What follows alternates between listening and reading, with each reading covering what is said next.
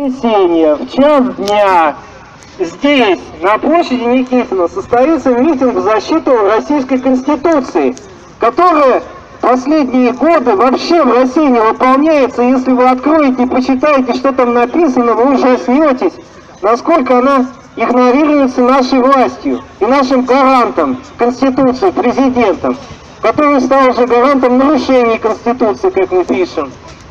Вот ближайшие, допустим, выборы мэра у нас в Воронеже отменили, никого не спрашивают. Хотя там написано в Конституции, что государственная власть отделена от местного самоуправления. Э, потом э, выборов нет как таковых, референдумов. Хотя там написано, что власть принадлежит народу и уже проявляется э, высшим выражением власть народа. Суда независимого нет. Если, допустим, вот вы занимаетесь политической деятельностью, вам ничего не согласуют, вот как Навальному, и все митинги запрещают. Политически мотивированные решения суда.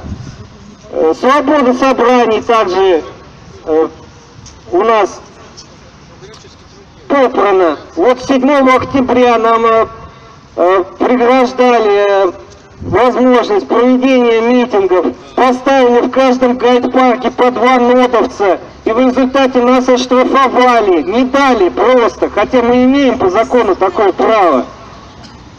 Право на благоприятную окружающую среду, там также написано в Конституции. И чего там только не написано.